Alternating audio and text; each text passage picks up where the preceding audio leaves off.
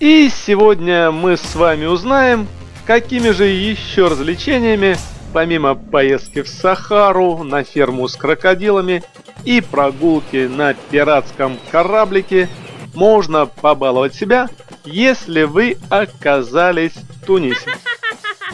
Например, совершить двухчасовую поездку на водных мотоциклах. Я и еще двое французов, Ришар и Софи, отправились в такую прогулку в 9 утра.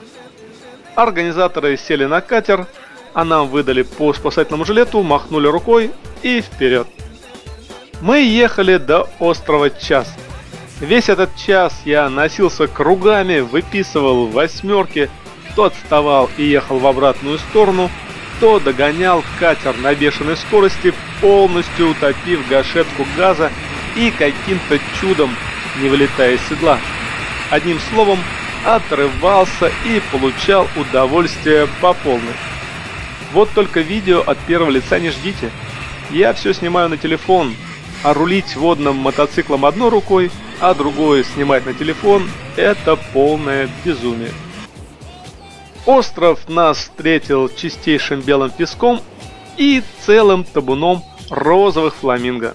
Мы пытались подобраться к птицам как можно ближе, но как только расстояние сокращалось, они перелетали ровно настолько, насколько мы продвигались. Гоняться за фламингами ради более-менее удачных фотографий оказалось совершенно невозможно. На острове мы задержались недолго, после чего отправились в обратный путь. Описывать его не стану, все повторилось. Французы плелись в фарватере катера, чинно и нудно. Я же выписывал на воде кренделя. Возвратились к отелю в 11.30. Итоги. Ноги подкашиваются от усталости. Те места, где большие пальцы рук касались резины руля и стерлись кровь, на ягодницах, извините, мозоль. И непередаваемая эмоциональная усталость. Еле-еле на трясущихся ногах я кое-как доковылял до кровати, плюхнулся на нее и чуть было не проспал обед. На следующий день я решил полетать на парашюте. Ну как полетать? Это не параплан, конечно. Парашют привязан к катеру, который его тянет, создавая подъемную тягу, а ты, как сосиска, болтаешься воздушным змеем за ним. 15 минут удовольствия за 20 евро.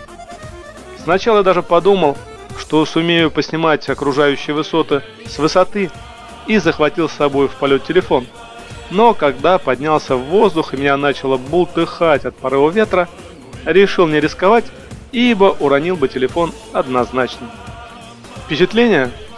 Передвигаешься так же медленно, как на воздушном шаре. Особого драйва или адреналина нет. Момент взлета и приземления плавные – Сверху неплохие виды на море и на арабское поселение на берегу. 15 минут на таком аттракционе более чем достаточно. Дальше было бы просто скучно. Это развлечение больше подойдет для беременных женщин, стариков и детей, хотя со стороны выглядит привлекательно и ярко. Также в отеле Зита Бич можно было заказать прогулку на квадроциклах. Отправлялись мы с паркинга отеля в 16.30 небольшой компании из пяти человек. Алексей с Василисой, Дима с Маргаритой и я. Плюс двое организаторов поездки указывали дорогу.